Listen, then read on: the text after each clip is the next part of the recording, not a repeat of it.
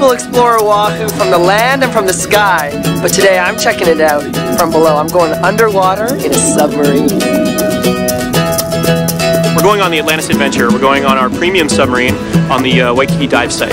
The submarine that we're going on is over 100 feet long, right? Uh, carries quite a few passengers and makes a lot of really tight turns next to the artificial reefs and gets really up close and personal with a lot of our sea life.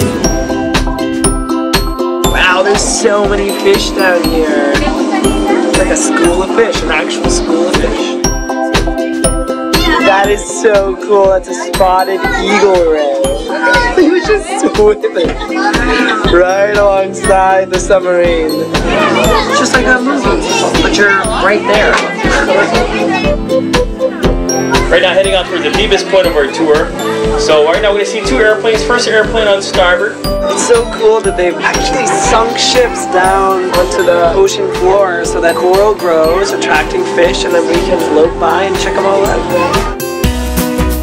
We make a U-turn on uh, both of the artificial reefs so that both sides of the submarine get uh, equal viewing opportunities, yeah.